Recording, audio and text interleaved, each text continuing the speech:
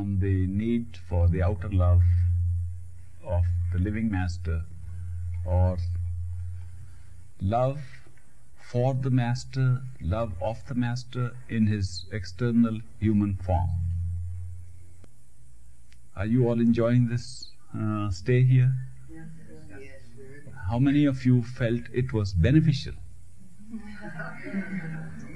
oh, I didn't mean uh, merely in terms of good weather, nice sun, beautiful lake around, not in that sense uh, of the ordinary uh, camping at a place.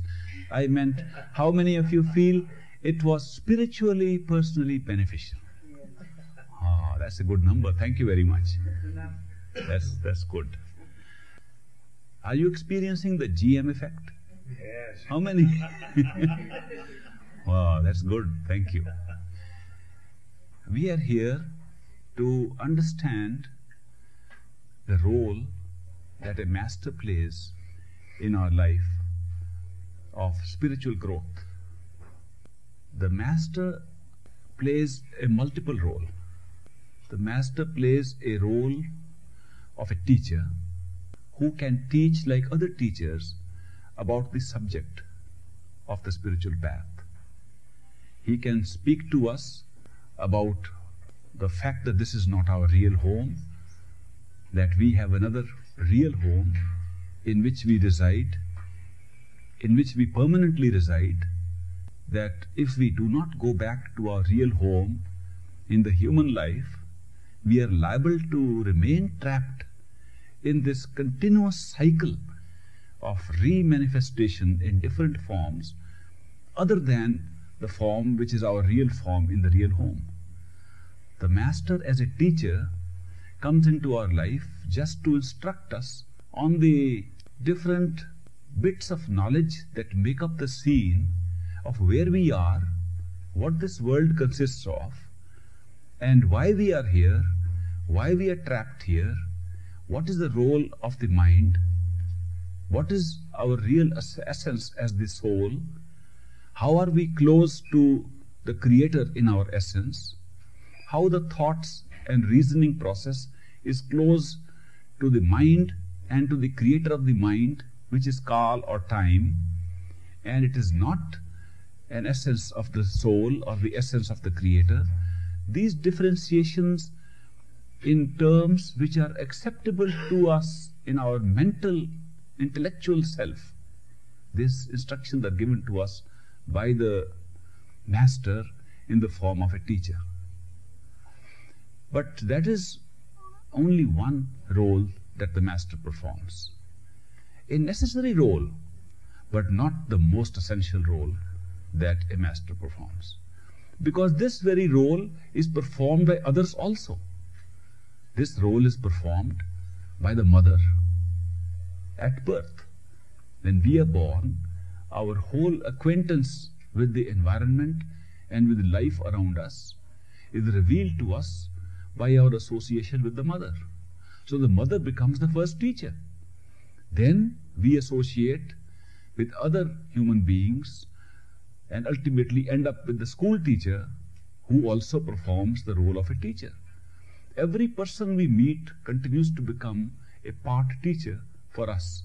So the teaching role is not performed by the master alone, but is performed by several people. The mother, the father, the brothers, sisters, relatives, associates, school friends, school teachers, and so on. If we take a job, then we begin to learn more about this world, more about human nature, more about the miseries of life, the unhappinesses of life, and we keep on learning. So this training process goes on throughout life, and we go move through a succession of teachers, including one who happens to be the perfect living master, performing a function like any other teacher. This is an important role, but it is not necessary that the perfect living master should himself perform it.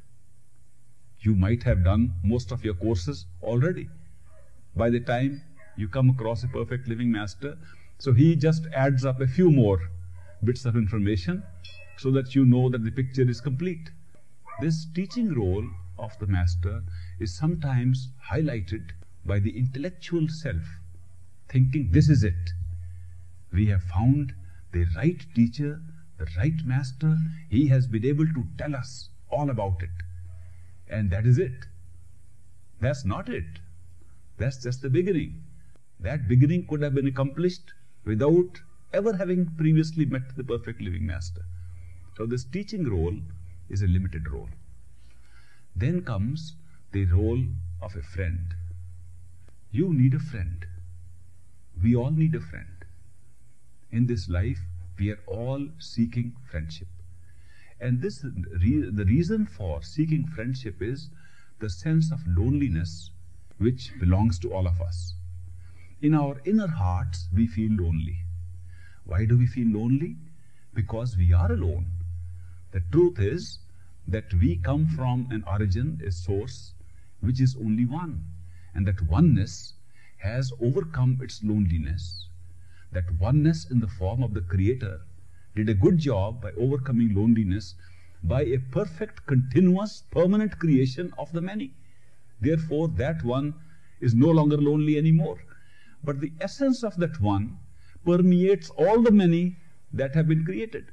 So the many being illusion have resolved the loneliness of the one, but the one remains the reality within the illusion and remains lonely. It is a strange juxtaposition of reality being covered by the illusion of the many, the reality remaining lonely, the many giving the support of companionship to that reality in the form of its oneness. Consider if you and your consciousness were the creator. Now, I am putting a proposition. It may sound strange to you. It is not a proposition. It may be a real statement that you are the creator. But I don't want to say that because you say, how many of us are creators? And immediately get, get back to the illusion. So let me start from the illusion. Since we are so many, assume that actually amongst us all there is only one who's real. The rest are made up, which also is the truth. Did you know that is the truth? How many of us are here? Look all around and you will find when you see everybody here, you can count how many are here and recognize one out of all this crowd is real. All the rest are made up. And you can also know which one is real. Do you know the sign to find out which one is real?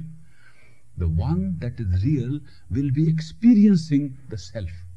The one that is real will experience, I am the self. Therefore, I can see others. Therefore, I can experience others. When that self says, but so is the other person seeing and experiencing, that is an experience of the self. It is not the self. The self is only at one place. None of you sitting here can ever experience the self at more than one place. And that self is always one. It has never become two. That self which questions, is this self that is thinking about itself, questioning itself, is that real? Or all the others that look like the form of this self also real? The answer is only the self that questions and is conscious is real. All the rest are made up. Now, it is difficult to understand intellectually that even while we are having this workshop, only one is real. All the rest are made up. And which one is real? When I ask, when I, if we were to go around the room, I'll figure out with each one, you alone are real. Because you alone are experiencing the self. And you will get convinced that is true. Then I move to the other one, and that one is real. All the rest are made up. Say, but what is this game going on? How can this happen that all are all can individually be checked up and give response to reality and actually the truth remains that only one is real.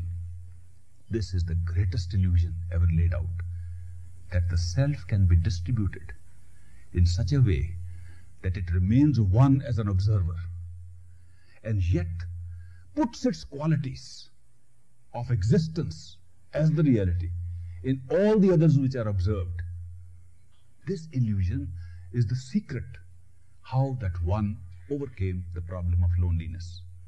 Because one, the only one, the only one that is real, when it could create a real experience of there being others with the same characteristics of that one was able to overcome loneliness and make that experience as real as the reality itself. So, this is a grand illusion that was set up which made it possible. You may take a long time to understand these simple truths I am mentioning. If you go within, it is much easier to understand. If you want to intellectually grasp, it is very hard to grasp that in this audience only one is real and that is the self. And each one can get up and say, That is me. And still only one remains. So sometimes think over this matter.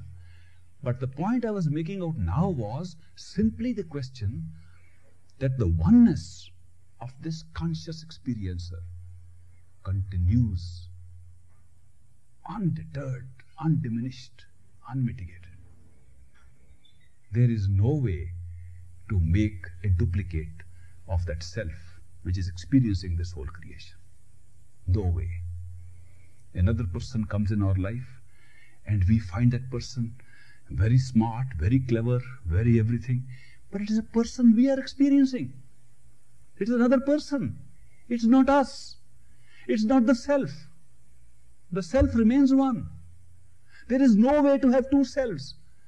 Nobody has been able to split himself and say, I am going to operate from two bodies now, here and there. There are people who have experience of being seen, being heard in two places. I had a strange experience myself. I don't know. You were there? I, nobody is here who was present at that time. But that was a strange experience. I was having lunch with one person at 1.30 in the afternoon at a place and 60 miles away I was having lunch with another person. And they both fought with each other. That our watches are correct. We had lunch with him. So they said, let's ask him. So the question came back to me. Were you having lunch with this person or having lunch with that person? So I said, I remember I was having lunch only with one person. Now who was that? And I remembered that it was a choice. I could have a choice because I remembered both the lunches. but apart from remembering the lunches, I found that when I was having lunch, I was having lunch only with, at one place. So, although this experience is possible, that means retroactively I could say I had lunch at place A alone, or I had lunch at place B alone, but I can't remember having lunch at A and B simultaneously. I am trying to point out to you the, the integrity of the self, that the self cannot be broken up. Even if you can recreate a past for the self, memory can be created, future can be created. All these experiences can be put into the head and we can remember things that happened as if they happened to you. But when they are happening, which is now, in the untimed, timeless now, the only present in which experience is continuously taking place. In this now, there's always only one. Always only one self. And that one self which you experience in the now is the only reality. Therefore, it is always lonely. I am trying to bring out the fact that this particular nature of the human self makes loneliness inevitable. It's not that we are lonely because we want to be lonely, because uh, God said, go out and be lonely and find companionship. It's not because of this. We are lonely because of the very nature of our self, that the self is only one. God did a good job for himself. He made so many. He's having a good time. He's enjoying his creation, having so many, and he can have fun wherever he likes.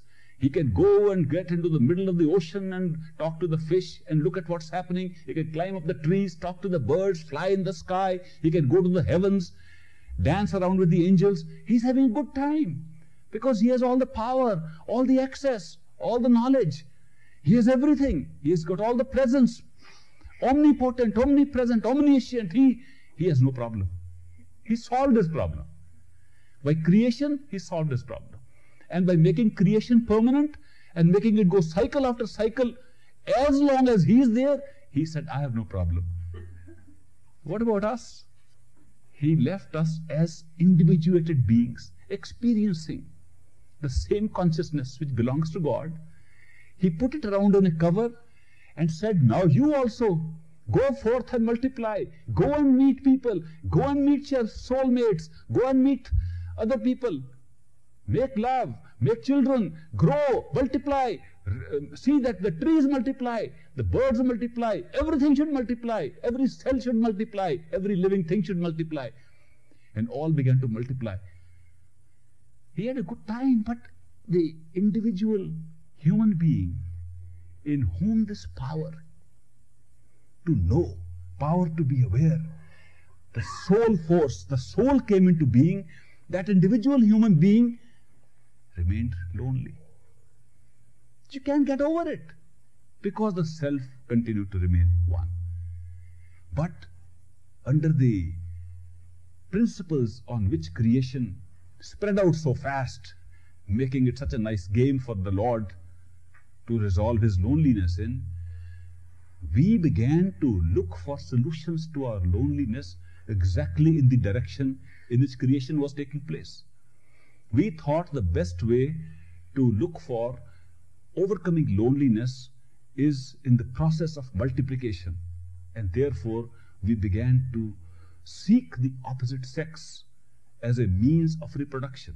And if we had both sexes bitten ourselves, we sought our own self sexually in order to overcome our loneliness. And the sexual contact or the male female principle or the positive negative principle or the principle of the polarity became the most paramount principle which is uh, which has got into the human consciousness or any consciousness in any kind of species created in this whole creation so a wild goose chase started of finding out which is my partner everything in this universe is looking for its partner the light looks for darkness, darkness looks for light.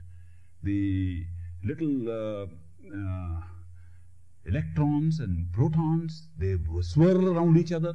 The same game of negative and positive, female and male, is going on in every aspect of this universe and of this creation. It was set in motion like an automatic principle, and it's going on, and this particular attraction has become one of the greatest motivating forces at all levels of creation.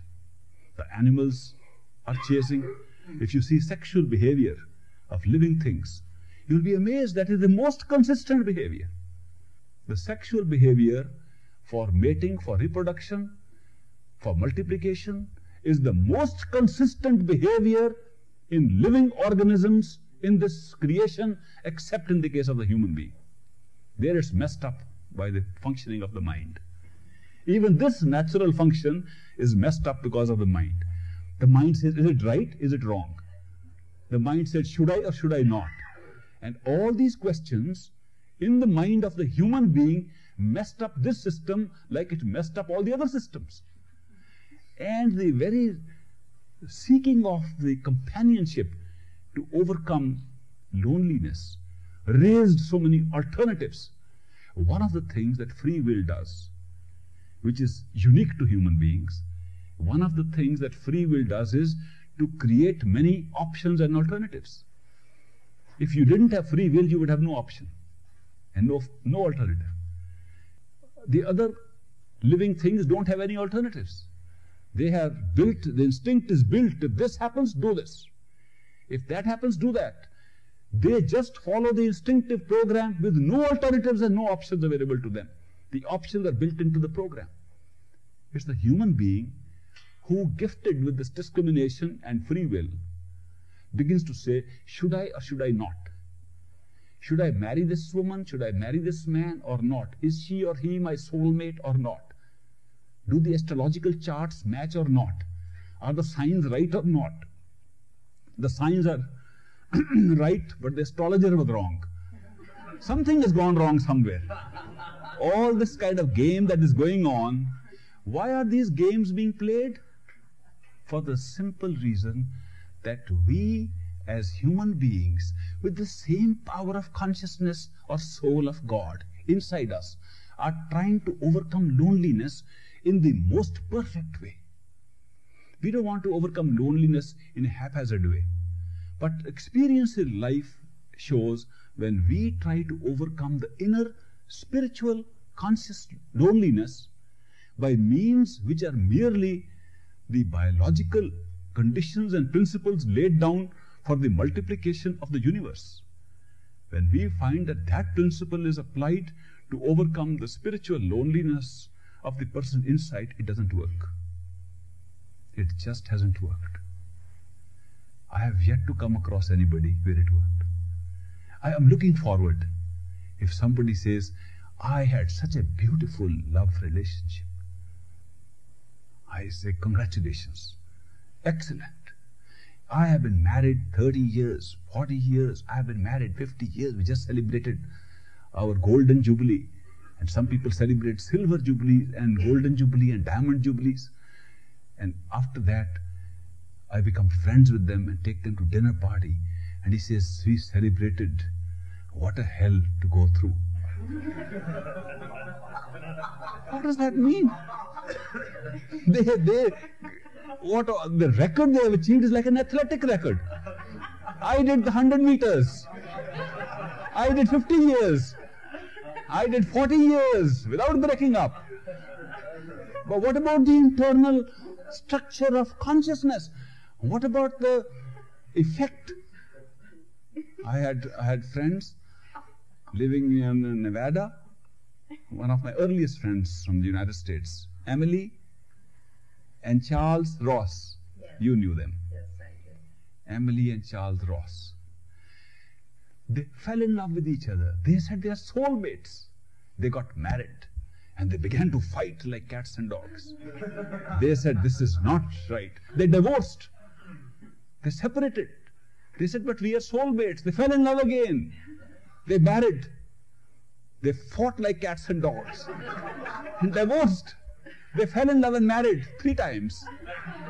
Same party. Same party. That's true. Was working with her. So Mary Chehensky knows that. I met you. That's when you met me. So when I looked at their state, I said, now what is doing this kind of thing to these people? When they love each other, they feel there is something missing. That is marriage. They should marry and consummate their relationship and have a wonderful time forever and live happily ever after. When they marry, they begin to live unhappily right now, ever after doesn't come. Therefore, they feel the marriage undid their happiness. Whatever little was there, there so they divorce. When they divorce, they feel the unhappiness of separation. So they marry again. Then they feel the unhappiness of marriage. I found in their attempt to overcome loneliness, they try this experiment of marriage and divorce, and both are leading to unhappiness. What is the solution? What's going on? Why don't we find a solution of overcoming loneliness through these institutional, traditional methods? It never happened because the relationship that we create through marriage, the relationship we create through having children, the relationship that we create by having parents, the relationship that we create by having all kinds of blood relations and cousins and uncles and aunts and nephews and nieces and grandchildren and grandparents, the relationships we create are all based upon the physical body we possess. The consciousness that occupies the body does not enter into that relationship. That is why these relationships do not remove the inner loneliness. Sometimes it takes quite a while. People spend their whole life questioning. I have lived so long. I lived 75 years. I lived 80 years. I look back in life. There was nothing real in any of those relationships. Because the real relationships would touch my inner loneliness. These only touched my skin, my sensations, my thoughts, my understandings, and no more. All these relationships, we call them karmic relationships do not go beyond the thought level, which is just a cover and not the source of our loneliness. Therefore, there is no relationship available here in this world which can transcend the, the mental, universal mental self, which can transcend the physical, the sensory, and the mental self. There is no such relationship here. Therefore, none of these relationships touches the core of our loneliness, which is coming from the soul and neither from the mind, nor from the senses, nor from the body. So, what are we looking for? We are looking for a different kind of relationship, and that is called the relationship with a friend, a real friend. Why do you have to say real friend? Because the other friends are already, we tried them out. The other friends communicate with us through our thoughts. The best friendship we can find here, with the most tuned in person, is the friendship where we can be telepathic. I think like this, my friend thinks like this. Whenever I think of my friend, the friend also thinks. That's the maximum that can be done, which is again a mental game. Doesn't touch the loneliness of the soul. Therefore, how can we find that kind of a friend who can touch the soul? Only such a friend can touch our soul who operates not from the mental level, not from the sensory level, not from the physical level, but from the level of the soul, who has experienced in consciousness, in awareness, a state of being that goes to the spiritual level. Such a friend, when he comes in contact with us, we get a feeling this has touched our inner loneliness and that is an experience which is not describable. That is why, if we can meet a human being who has that experience, and we come to know that person, that human being, has become a friend. Even intellectually, what we thought was a friend, such a person has become a friend. It touches us in the deep, deep in, innermost self and makes us feel that we are not alone now. This is possible only with such an enlightened being whom we call a perfect living master. Therefore, the truth is, in this life, if we want to have a real friend, we have to have a friend whose consciousness has gone that deep that when we come to know him, even if we have not found our own soul, but since the loneliness is coming from our soul, when we meet such a friend, the very fact he is our friend can hold our hand and speak to us with friendship touches that part of loneliness, and we feel, now I am not alone.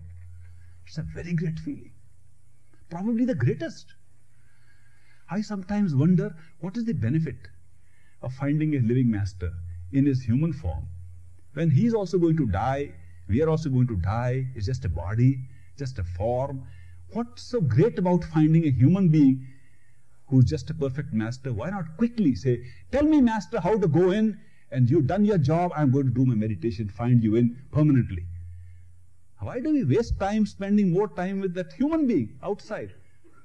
The reason is that human being outside continues to be the only human being giving us this sort of friendship which makes us feel we are no longer alone. Nobody else does it. All other friendships, we seek the same kind of friendship. When we make friends with people in this world now, we are looking for the same friend. We don't want to have unreal friends. We want to find real friends. And every friendship that we make, we presume it will be real friendship. We presume because we need that. We seek that. We start from that. And as it goes on, gradually we find out it is not real. It is just a, a make believe. It is just a stopgap arrangement. It's not real. It doesn't go all the way. It goes skin deep, sense deep, and goes thought deep no more. The inner loneliness. I have seen people, they said, We are real friends from childhood. We grown together. We always consulted with each other. And we have been together in every distress, every crisis. And now, when it comes to finding out the real truth about themselves and to overcome loneliness, they can't communicate with each other. They spend time together. They try to share everything. And they feel they can't understand that part of themselves which is lonely. So it's no use wasting their time. They talk of everything else. They go to movies together. They have dinners together. They spend hours talking to each other and they can't talk about that part of themselves.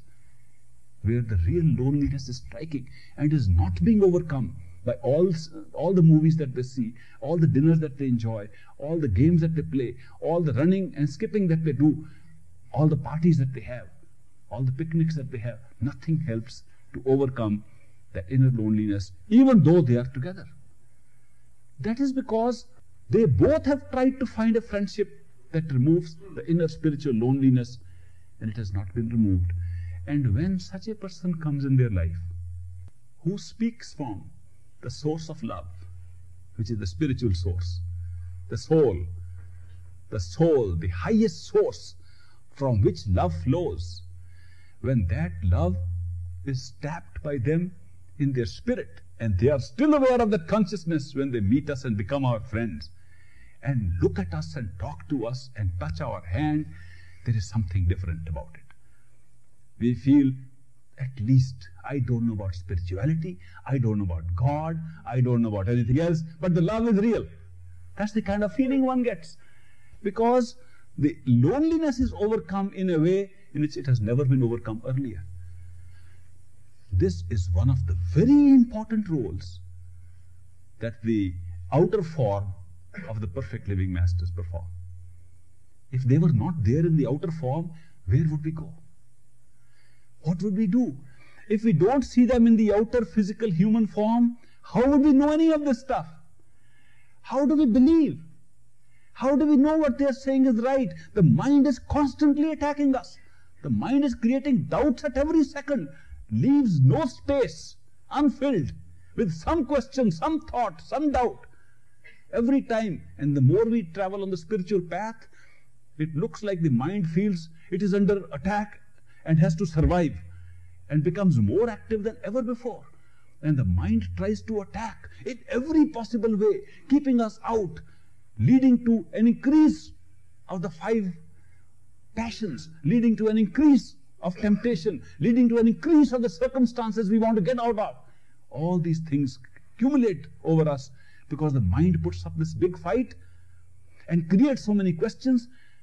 And that is the time when we have to seek that friend outside who can show that the love is there and we can trust him.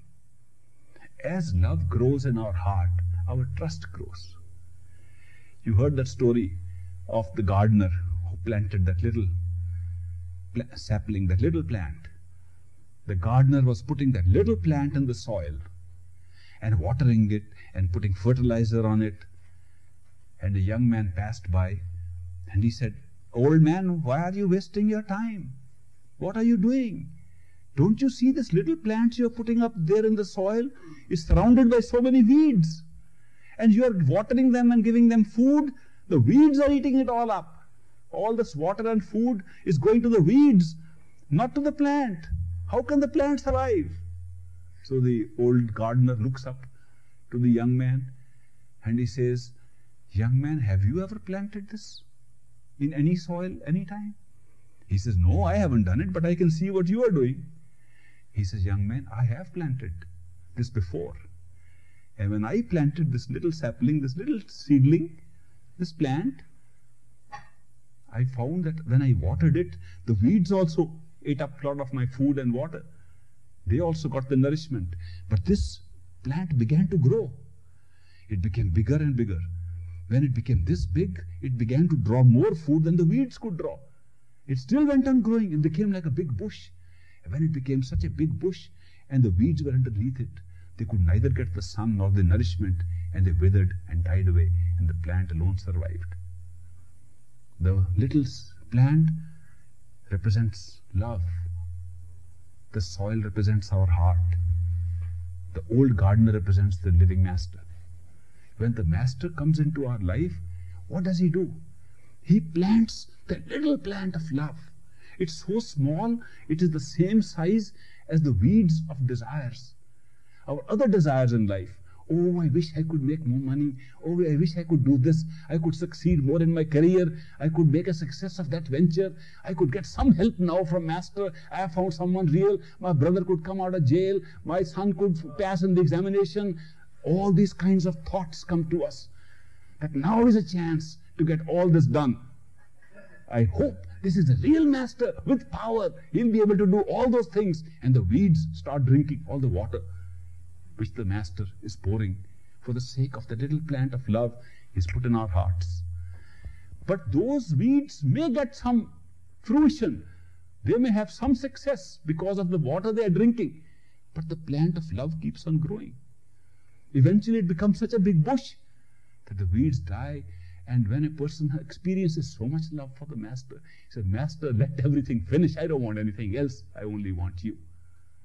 This process in which the little love for the Master can grow into a large love which puts everything else in second place. This process is the spiritual process which takes place in us by association with the outer form of a living Master. If it didn't happen, we wouldn't get this experience. We could get trapped in the weeds. And only He knows that the kind of love He plants in our heart does not stop growing because of our weeds, because of our other desires. That the other desires will eventually find their rightful place when this love grows quite a lot. He has his own time schedule for this. So the young man didn't know how the masters operate. And this is how the masters operate with us. They make some of our desires come true. We begin to have faith.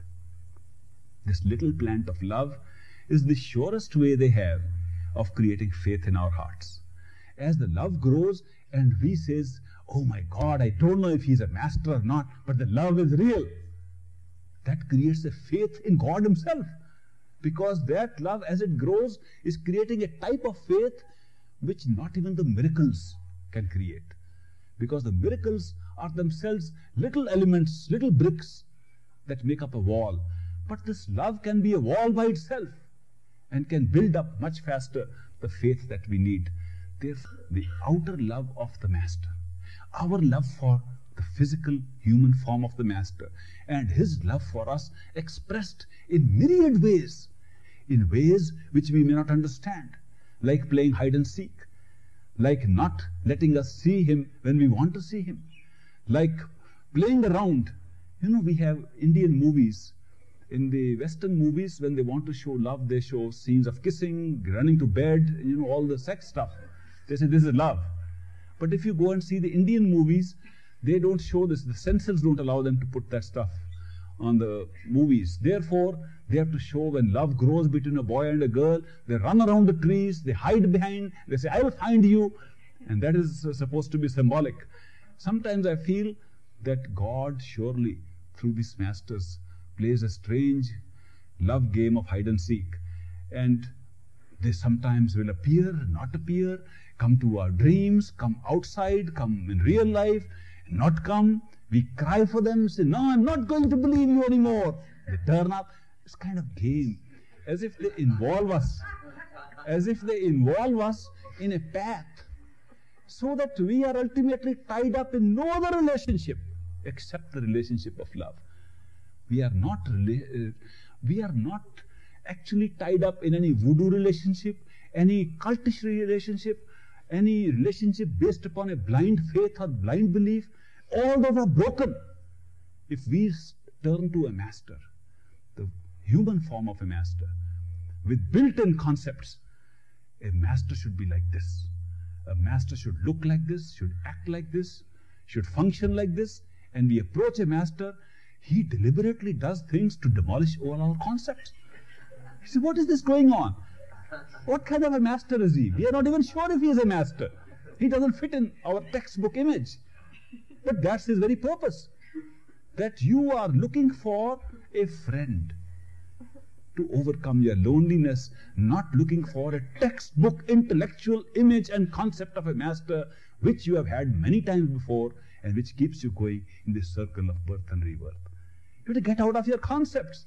Concepts are as bad as superstitions. If you can build a concept, you will not let anything come through, not even knowledge, not even love, not even friendship, just because you're holding on to a concept. I want to see God in this form. And God may be just sitting and says, When will you wait? See that. He says, Whenever He comes, I'm waiting for the coming, second coming of Christ. Okay, Christ may be just sitting next. You're just waiting. You're waiting for a concept. You're waiting for a mental game, and the only person happy is the one that runs this universe, says, This guy is good, I can give him several turns around. this concept is the best thing to hold him on. The masters, in their physical outer form, they come and associate breaking all these concepts, breaking all these superstitions, breaking all these mental games. And they start with the real game, the game of love, of spirituality, coming from the inner source of the soul, touching our soul, and giving us a feeling of friendship we have never experienced before. If we did not have any association with the outer form of the Master, we would be trapped in our own intellectual concepts. It's so hard to get out of them. That is why they play this strange but useful, wonderful role of a friend, a real friend. There is no greater friend in this world that you can find than a perfect living master in his outer human form, meeting us and sharing his love with us. Nothing like it. You can go and try and find out. When you come back, tell me, there was one friend who was not a master, he was a greater friend and more real friend than the master. I haven't found it. I haven't seen anybody else find it. That is why I say openly and in a form of a declaration there is no real friend, no real greater friend than the human form of a master who has become ordinary for our sake and comes to the level at which we are. If we are at a very low level, he comes that low level. If we are at this high level, he comes up to that high level. If we are ourselves in a high spiritual plane, flying, he comes flying in the spiritual plane. When we are beset with doubts and right into the dungeon of hell, he walks down into the dungeon of hell and becomes beset with doubts along with us and picks us up from there. This kind of friendship, this kind of association is not possible except with a perfect living master. That is the big advantage of having a perfect living master as a friend. Then he performs another role. That is the role of what we call a father figure. Sometimes it is called father figure, mother figure, parental figure. Why do we call it a parental role? Because when we are little babies, infants, we have been used to having the security of being taken care of by the parents. We don't have to worry. The baby says, the mama is there to take care of me. Why should I bother? The mama will rock the baby, take care, see that the baby's diapers are changed in time, the baby is fed in time. All these cares and worries are taken by somebody else. And we are, as we grow, we say, now you're grown up. Go out into this world and look, fend for yourself. When we go out, we are still looking for someone to take care of us. And nobody takes care. We do not have that parental protector one who gives us that security. So the next role, the father figure of the master provides is the role of protection and security. And it is one of the greatest blessings we can get in this world. The sense of security, the sense of belonging, the sense there is somebody we can turn to, the sense there is somebody to protect us in case of crisis is a very great sense. It comes gradually. But this sense is different than the sense of companionship with a friend. And they are both taking place in the same person. Then there is the role of the spiritual companion. That the, the master in his outer form is also our spiritual companion. He gives us an external image, a face, something to look at, a forehead, a human face which one can look at and fix upon fix our gaze upon that so that it becomes part of our of our beloved of somebody we love somebody we can trust somebody who is a friend somebody who can protect a figure a form that we can fix in our eyes externally concretely in the physical form to which we are accustomed so that when we do meditation we have that form available to fix for the sake of concentration of attention for the sake of spiritual companionship, for the sake of speaking face to face with God. When we want to speak face to face with God, we have no real face to speak to.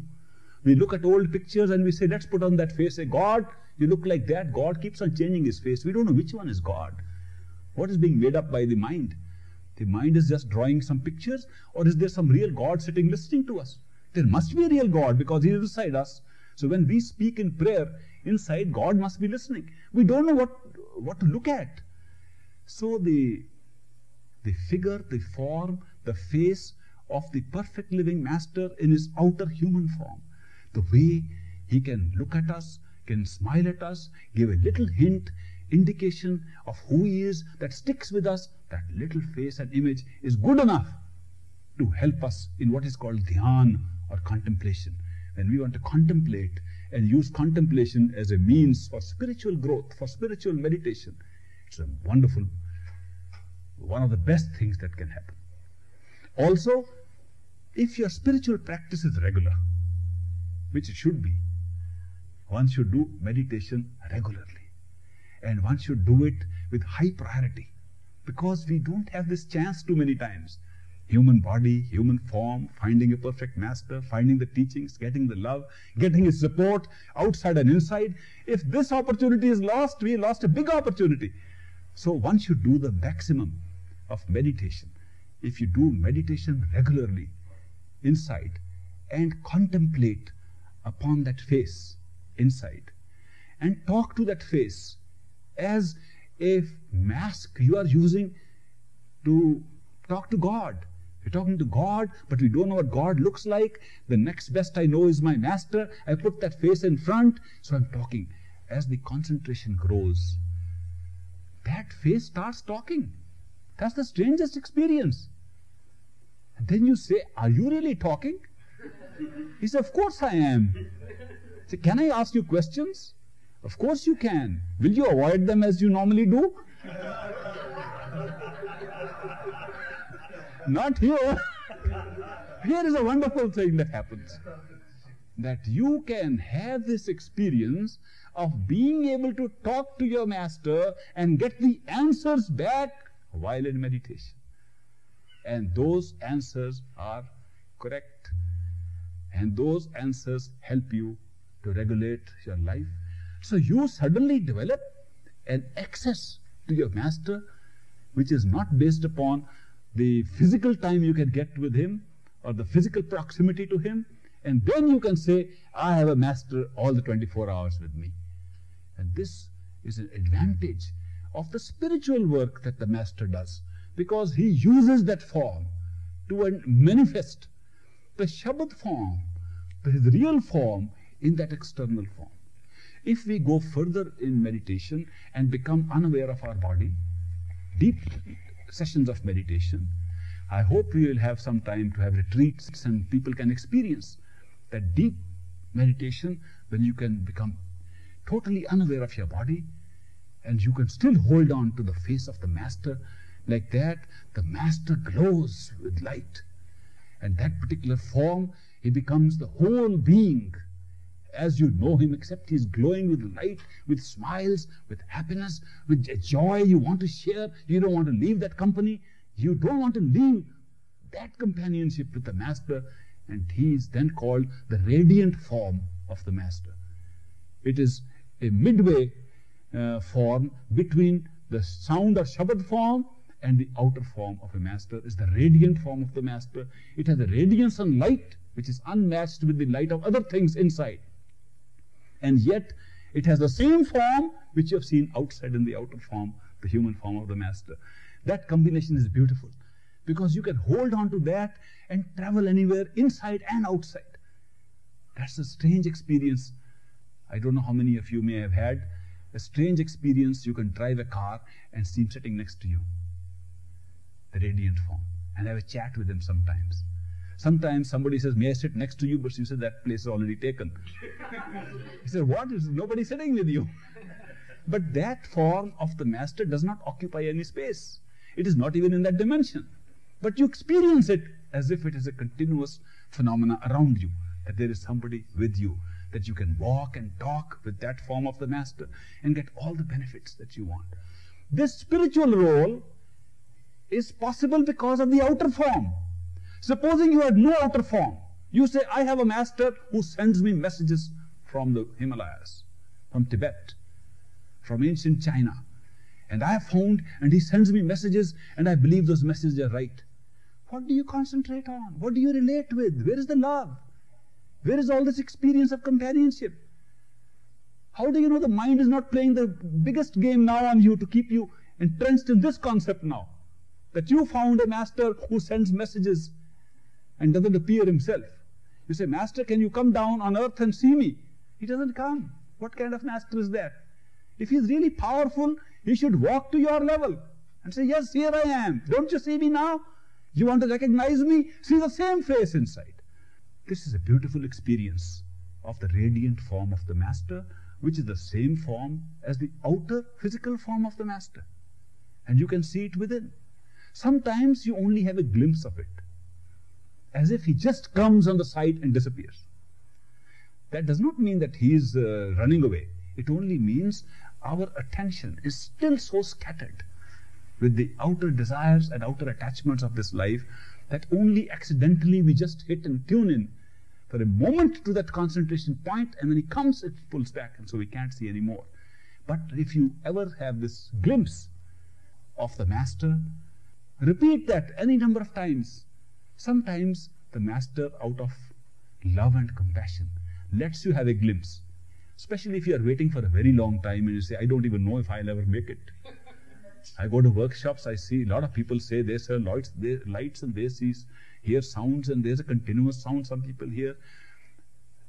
Incidentally, I find a lot of people are actually uh, getting this experience of light and sound. But sometimes, sometimes they say, we got it once in that workshop, never got it again. Why? Because that little sampling was given by the master by showing it is there. Now at the right time you'll get it again. This sampling was given, it will come at the right time. Right now you know how scattered you are. If you don't know, look at it. In meditation you can always see how scattered you are. Gather yourself up. And at the right time you will get the real thing of which you got a sampling. So these glimpses come, but they are only a sampling of the real thing. When the real companionship comes, it cuts through these attachments so fast. It makes us feel like actors upon this creation. Looks like we have to perform roles. We wear our costumes, which is this body, and everybody else is wearing their costumes. And we have to be absolutely accurate about the script and speak in the high and low tones required of the act. And we have to carry on doing this, and we enjoy it as we act. We laugh and we cry and we enjoy because we are acting so well. And we see everybody else laughing and crying and performing their roles, and we do whatever is required to be done, and we are never messed up by that act because we are aware of being actors and knowing what our reality is and where we have found the real companionship within. So, this spiritual role of the master makes the whole life different after that. From that point onwards, we shift to the inner form of the master, and he then reveals even more. For example, when you look at the master inside, in his radiant form, or even earlier, in the contemplated form, which starts speaking, which is not radiant form, the contemplated form, which means the form you have imagined, based upon the external view of the master, when that becomes a source of getting answers, and then you want to talk to that master, then he, he can show you some other persons. So, who are those? They are also masters. And he can show you a whole line of masters to show you that masters are all one. That don't imagine that uh, master is just a person come for a short while upon this earth. That your master, the one you came across and shared love with as a human being, and extolled him to the skies and said, He alone is God. That was your experience. But that experience is not limited to what you experienced. That that very master was the master somebody shouted for 500 years ago, looking at another person on the human being. And that was the same master somebody else shouted in glory and joy 2000 years ago, 5000 years ago, 10,000 years ago, and will shout hereafter. That particular experience comes to us in sight. In the presence of the very form of the outer form, physical form of the master that we are accustomed to. So, this particular experience is so gratifying. It answers so many questions. It resolves so many doubts. It puts the whole thing in order. And we come to know, wow, this is the truth. And you are speechless. People come and talk to you about denominations, religions, old masters, new masters, somebody doing, uh, coming through, uh, through channeling, through Ramthas, these tapes, that tapes, all kinds of things people will bring to you. And then you will enjoy it because you can see exactly where they belong. You will also see why they're talking like that. You will see the whole drama, not in the limited span of your own experience, but in the span of creation. How these things have been juxtaposed once against the other according to the passage of a historical time and a historical future, and how they are all pinned together in a stream of consciousness of which you are a participant. This is a great experience that you find within yourself. It explains more than all the study of comparative religion can ever do. That one experience of seeing how this power has manifested as masters, and why it manifested, and what it did, and what it is doing now, and what is the form it takes, and what it will take in future, and why, and what is the meaning of marked sheep, and why masters come and confine themselves to a certain number of people in a certain part of the earth at a certain time in history, why they do that, all will become clear. You'll understand that the masters are predetermined millions of years in advance. You'll find a strange answer. Here we say, let me look for a master. Here we talk as if it is our responsibility, little realizing that by going within, we can see that the master we found as a human being here whom we can see in his radiant form inside, was earmarked to be our master, the final master, to take us out of this birth and rebirth cycle millions of years ago, based upon a, a capsule and a cassette of karma, which had already been programmed for so long in the past and in the future. It's a strange experience, but very, very gratifying experience because it explains everything. Nothing is left in doubt. You are left with no questions. There are too many answers at that time for you to put any questions. There's so much sudden information coming. And how long does that take? It may take about 10 minutes. In 10 minutes of this experience, you can get answers to questions you could spend all your life in writing out and trying to find answers to. So such are the experiences, and all related directly to the outer form of a human being who happens to be a master. It is only then that we begin to realize, Master, now I recognize you. And the Master says, Are you sure? Because the truth is, we still haven't. I have given you this introduction to the work that these masters do in their outer form, the effect they have upon us in their outer physical form, and how important it is to have love and devotion for the outer form of the Master, and how important it is to enjoy the love that pours from them. It is important to have darshan and drishti. Have you heard these words? How many of you heard this word? Darshan and drishti. Okay, I'll explain for those who haven't. Darshan is the opportunity you get to see the form of a living master physically. When you can look upon the face of a master, it's very, very useful.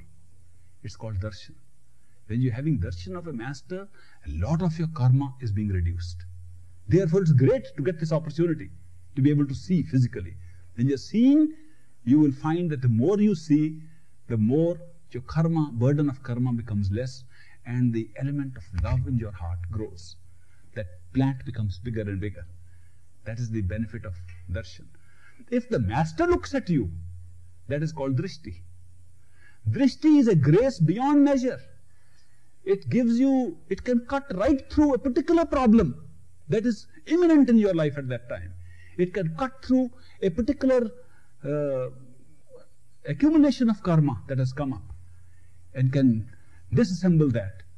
It can uh, raise the level of faith and raise the level of uh, uh, trust that has never been done by other kinds of studies and books and so on.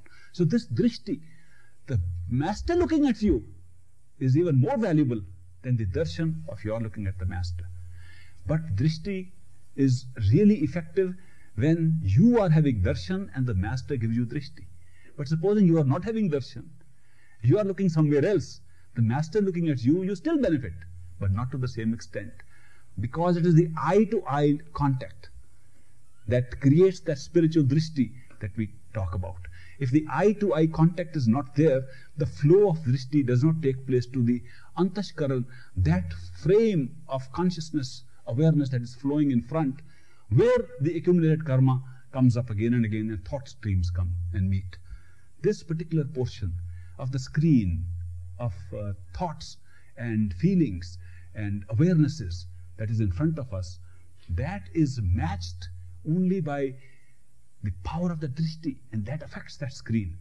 And things that are happening on that screen begin to change. And sometimes we wonder what's happening. Why can we, how can we see this? Some people say, I looked at the master, and at that moment, the eye to eye contact, it had never happened before. But that it happened, I felt a sudden flow of light to me. Or I felt, I saw an image. I saw a halo. I saw this. I saw light. I saw GM. I saw this. They give different images of what this saw. What is actually happening is just a flow of the drishti of a master, which we have seen has so much power. It can cut through many of our problems. So, what are the most valuable assets we have? While we are still in the process of finding out the radiant form of the master within, and we are still trying to find out the Shabad and that power, which is the ultimate master, which is the real form of a master, which is where the master is directing us to, to go within and attach the attention, the surat, to that real form, this, the sound, the celestial sound within, that unending song within. Till we get that form, these are the best things we can have. Have darshan, have drishti if you can get it, and have anything else that can be associated with the memory, with the remembrance of that external form of the Master. Like you saw me getting that cup of the great Master. I realize it's just a silver cup. It's just a small drinking cup. But how much it means. Why does it mean so much? Every time I see the cup, I can see the great Master looking right with those beautiful eyes and with that love that flows through it. Now, the cup is not having the eyes, but the cup generates the experience of the eyes and gets the same power like the drishti was giving me. Therefore, anything that we hold dear, anything that is associated, becomes blessed because it blesses us, it changes us, our consciousness undergoes a turn.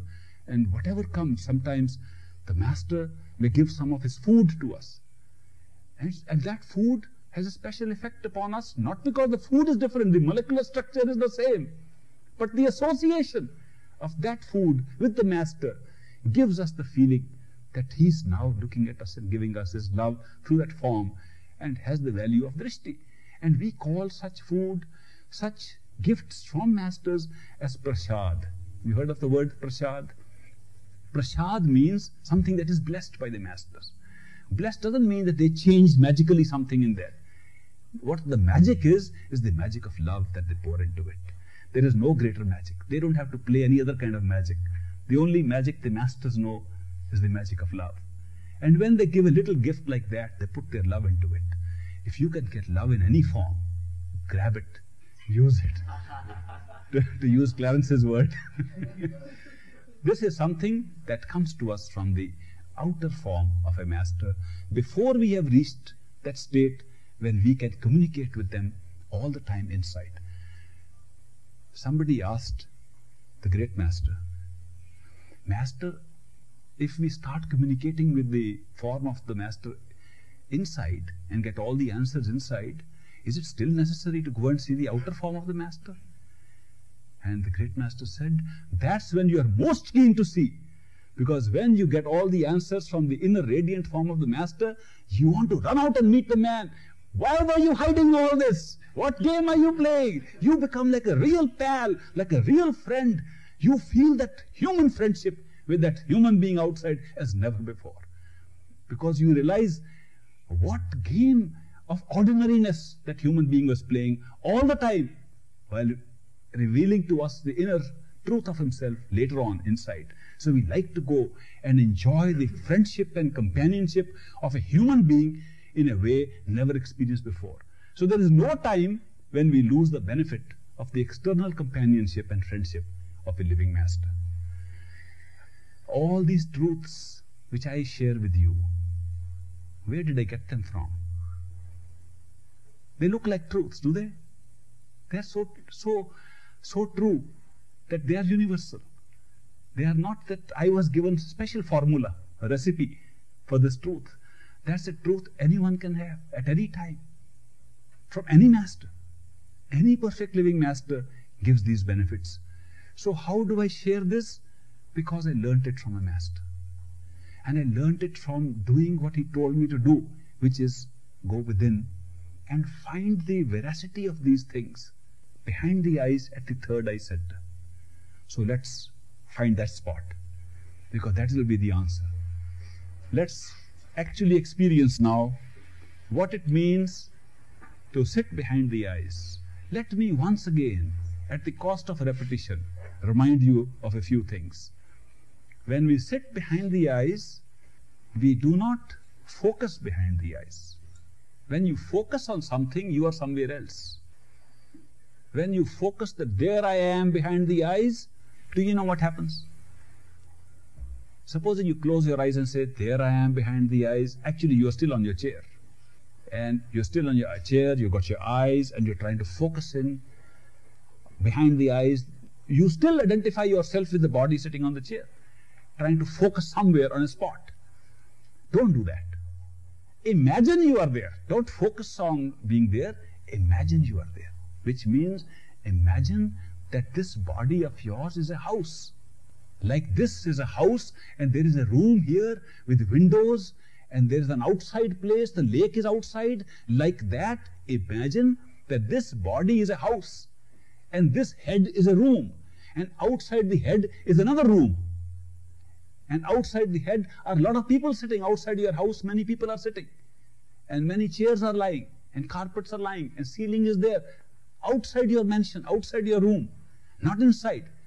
What is inside? Look at it. Sit inside and see what is inside. Don't assume anything. Imagine you are sitting inside the head. Experience the hollow. Looks like there's nothing, it's too dark, we can't see. All right, be there. Wait there. But don't focus in. Don't put any pressure. Don't try to put your pressure on the eyes that you have to look at something with the eyes. You have just to be relaxed. So far as the body is concerned, you are not connected, connecting yourself with anything happening in the eyes or the body.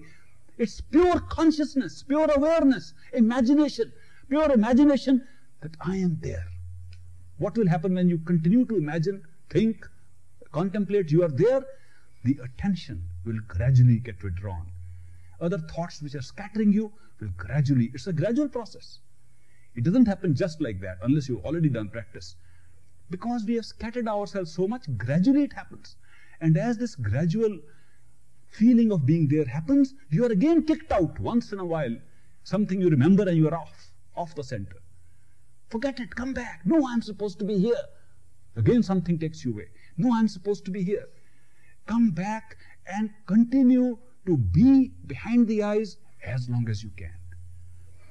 When you feel you are inside the head, sometimes the tendency will be to start seeing with these very eyes, which pushes you forward. When that happens, press with your feet at the floor, eye level floor. Move back. If you're sitting on a chair inside, have some wheels on the chair, but not very smooth wheels, they go right to the back. Once I suggested this in a workshop, somebody fell right out from the Have good support. The tendency, the tendency to go down is so strong, the tendency to slip down is so strong that I have always had to say, make it of steel if necessary, this floor. Put reinforced floor behind the eyes. Stamp upon it with the inner feet of your inner self, the imaginative self, so that you don't go below the eyes. Because if you don't go below the eyes, you can't sleep. Whenever we sleep, the attention drops below the eyes, then we go to sleep even in meditation. But when you can stay at the eye level and become unconscious of the body, you are not asleep. You may see everything, wonderful. experiences. You may say, Is it like sleep? Because I was not aware of the body. Just being not aware of the body doesn't put you to sleep. You have to see the state of awareness. Are you in a state of wakefulness or sleep? And when you can concentrate your attention on being there behind the eyes, gradually you become unconscious of the body, starting from the extremities, going gradually to the legs. It's a gradual process, depends so much upon the food we have taken, depends so much upon the thoughts we have had, depends so much upon the mad fights we have had with people, what we did last night, what we did this morning. All these things affect us. But we will find that out when we are actually doing it. If you do every day, you will find what incident did what to your meditation. So there are so many factors that make meditation difficult sometimes. But do it with love and devotion. When you find that the mind thinks too much, starts repeating the words of Simran, the mantra. Start repeating the words deliberately, gradually, slowly. Why? Because only when you deliberately speak those words mentally in your mind, the attention goes there. If you speak parrot like, if you speak just like a machine, quickly repeating, then your mind can run anywhere. The mind can think of everything and you're going on repeating. That is not the purpose of Simran. The purpose of Simran or repetition of mantra or repetition of words is to engage the mind in that activity and not to let it go out. That is why look at the accent of each word. Look at the pronunciation. Look at whether you are pronouncing the words fully or not. So that your attention gets gripped into the repetition of those words and the pronunciation of those words and slowly each word. So you get gripped with that activity of being there. So if, if there are too many images coming and bothering you, contemplate on the face of the Master and hold it as long as you can. If the sound starts coming in, sounds of birds chirping, crickets chirping, waterfalls, thunder, bells, small bells, big bells, leave everything and listen to the sound. When the sound stops, start contemplation and the repetition again. If you find that you can repeat and still see this, uh, see the image of the master, and when you don't repeat, the image disappears. Repeat the, uh, the words while seeing the form. If the form stays with the sound, listen to the sound, look at the form. If the sound disappears by looking at the form, listen to the sound only. If both are sustained together, keep them together. If the repetition of the words leads to the sound, and you stop the repetition, the sound disappears, keep on repeating while the sound is still manifesting. Use these combination of three techniques. The technique of repetition, the technique of listening, the technique of contemplation, which are called the, we, we call them uh, our own Surat Shabd Yoga or the yoga of listening to the audible sound current. These are called the techniques of Simran, Bhajan and Dhyan. And we use all three techniques according to needs by common sense, intelligence. Use common sense and intelligence. We are not doing any voodoo magic. We are just trying to put our attention behind the eyes and find who we are, where we are as consciousness, not as the body. So do it with love and devotion, with intelligence and in a very peaceful way and stay behind the eyes. And don't slip down and don't slip out and keep the body in such a position that you don't slump and go to sleep and you don't remain so stiff that the whole attention is on the stiffness, make a via media that the body should be comfortable enough not to take your attention to discomfort, should be uncomfortable enough not to put you to sleep. Make your own via media and then concentrate on being behind the eyes. Now close your eyes and begin.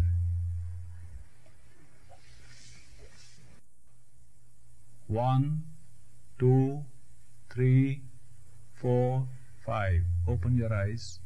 Look this side. Open your eyes. Look this side. Do you like this short session? How many of you liked it? Please raise your hand. It's pretty popular. Getting to be popular used to be very unpopular. To do meditation. It's good. Uh, any questions on what we are doing? Any problems in trying to do it? Any comments? I have a jerk. What does that mean? My body is uh, jerking sometimes when I'm quiet. Yes, when the attention is pulled out of the body, sometimes the jerk comes in the body. In great masters' uh, meditation sessions, sometimes the body would shake a lot, the attention was concentrating. It is natural, it would come back to normal. The meditation ended.